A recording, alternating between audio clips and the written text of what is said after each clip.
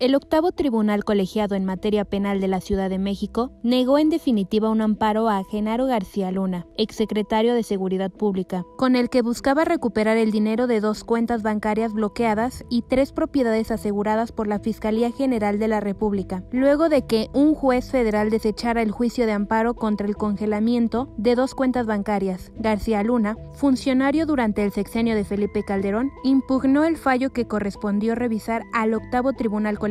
sin embargo, el juzgado décimo sexto de distrito en materia penal resolvió sobreseer la demanda porque el exmando policiaco la interpuso de forma extemporánea. Ante ello, los magistrados determinaron levantar el sobreseimiento decretado al considerar que los amparos promovidos por García Luna fueron presentados de manera extemporánea. Como parte de la investigación que inició por el delito de enriquecimiento ilícito, la Fiscalía General de la República aseguró tres inmuebles y dos cuentas bancarias a Genaro García, preso en Estados Unidos por presuntos nexos con el cártel de Sinaloa en diciembre de 2020.